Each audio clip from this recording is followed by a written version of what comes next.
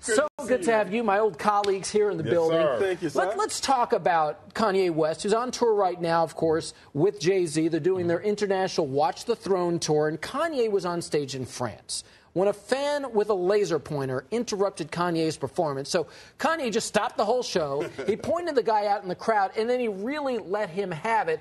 Now, Kanye swears quite a bit in what he said, so instead of swearing, I'll be using this. Okay. Uh, here's what he said. Uh, you see this guy right here with the green laser? Don't with everybody's show. This is not a game. You're going to get up and kicked out. Uh, there was an extra horn in there. I didn't want that. So chill the out. Okay, you get the idea. That was Uh, basically what I would have said. Right, exactly. Well, so is Kanye upset about being interrupted, which is ironic to me because he's always the guy He's who's the one that does Yeah. He does the interrupting interrupt- That, that's the irony of the whole Yeah. situation is that Kanye would stop a show because somebody else was heckling. But in this and that's all case- it comes down to is being heckled. And unfortunately, you got to understand something. People pay a price for that ticket Yeah. to go in and see you. So if you're doing a show called The Laser Show, guess what's going to happen? People will make, come at you with the laser. Now, is the fan correct about doing what he's doing? I'm not certain about that.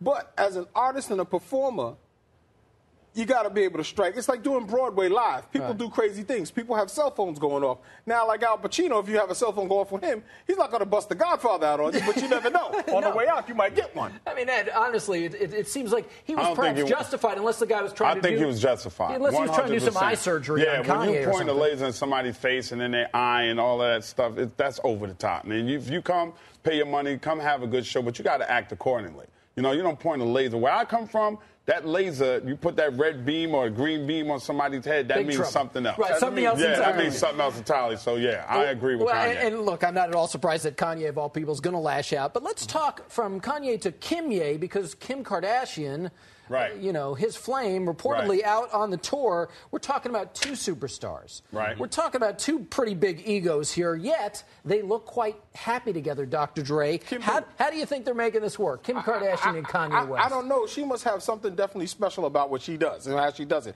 Because first she started out with Ray J, then she went to Reggie Bush, then she went to I don't even know Miles the guy's Austin name. from the Dallas, Dallas Cowboys. And then what about the other gentleman? Kris from, Humphries. from Well, 72 days with Kris Se- Humphries. The Yeah. 72 man. He'll never, he'll never keeping score. who, who I enjoy. I'm still trying to figure out what kind of leprechaun thing does she have going on with herself. I mean, it's a good man- leprechaun manly, yes, but I like it too. I mean, she's got something that's keeping snapping keep- turtle, keeping man. it Okay. snapping There's and nothing wrong with Turtle. that. If, if they're happy, we're all happy. You Yeah. know, she's doing what she needs to do, and actually, she's getting paid a lot of money for doing it. Yeah. But I'm still trying to figure out what does she do? What does she do? What okay, well, I'll she send her over to your house and she Ain't can my explain type it of to you. hype, man. Exactly. What does Ain't she my do? type of hype. Not nah. for you. Mm-mm. I like my personal joy. Got to be my personal joy, not a joy that everybody else touches. Well, Uh-uh. she shares it with everybody. And, and I want to talk about somebody else who does share quite a bit of her private life, at least on Twitter. She's putting stuff out there for her fans. Rihanna. Now, she's Yeah. lashing out over the constant questions about her volatile relationship with Chris Brown. And she got particularly spit mad during a recent interview that she gave to Esquire magazine. I'm going to need my horn again, so please have it at the ready. Okay. There's a lot of y'all can't get over. This is what Rihanna's saying. Y'all Mm-hmm. holding your breath on a lot of stuff that doesn't matter. I am never going to get caught up in that. I'm going to look back on my life and say that I enjoyed it. This is turning into a tacky interview. What do you really want to talk about? I'm not here to talk about messy. Yeah. And, and I get that, and I understand her wanting to move on. But again, Rihanna tweets about everything she does. She puts Right. out the racy pics. She talks about the parties she goes to. What do you think, Ed? Can she still expect to have her love No. life remain private? No. Uh-uh, because you put it out there. Once you set it out there for everybody to see, this is part of being a superstar. You have to accept this part of being a superstar. You can't take the money and the fame and go, don't ask me nothing. No, it don't work like that, sweetheart. You're a superstar. Except being a superstar. People want to know about every aspect of your life. Stop tweeting.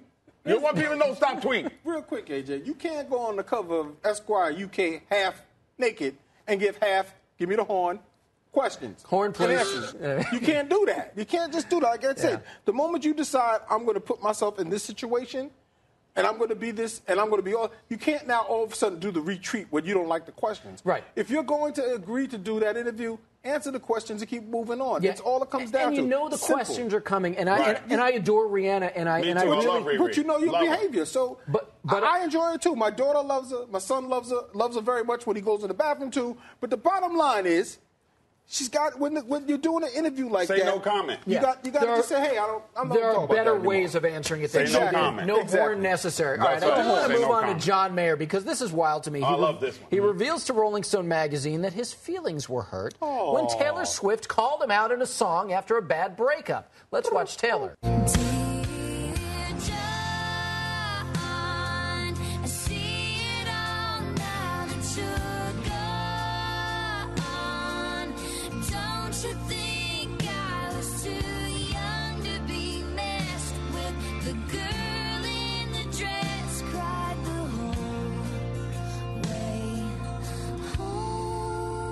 Guess what? John is not happy about that.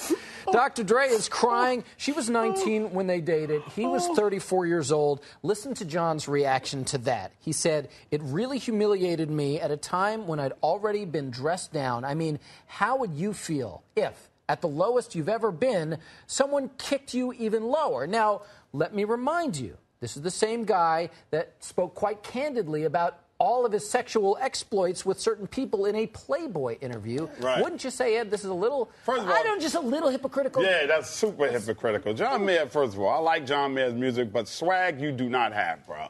No, if you let Taylor Swift little song about Dear John bother you, your swag is way off base, John Mayer. Get some swag juice, do something, because if that was Ed Love, I'd be like, yes, Yeah. I affected this chick so bad, she had to write a song about me. I am the man. Right. Absolutely. That's Dr. how I would have Dre, handled it. That is what music is all about. But for me, I would have been like Marlon Brando in The Godfather. Stand up and act like a man.